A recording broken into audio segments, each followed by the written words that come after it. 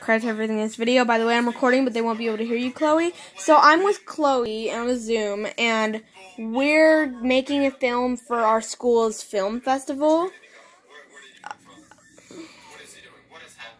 Okay, London's here too now. So for the film festival at our school, I'm also recording, guys. I have Canada and Rooster, and I'm going to go from there and just keep brainstorming. I put alarm, so it's going to be like a Rooster alarm kind of thing. And uh, I have until like March, like end of March to do this. So we're to have one more little circle. Okay, I made two. So it's about a western setting about a rooster in Canada. It's like, and it's one that like wakes everyone up in the morning, and it's gone missing.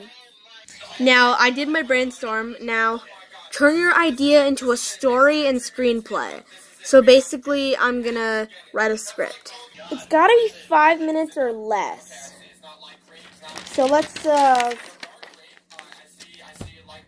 uh, it, it, alright, so now we need a name.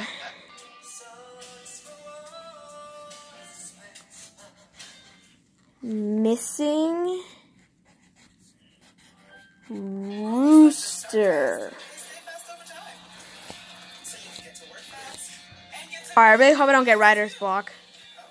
Okay, so for the Missing Rooster movie, I might not start it until like Christmas. Like animating. But whatever.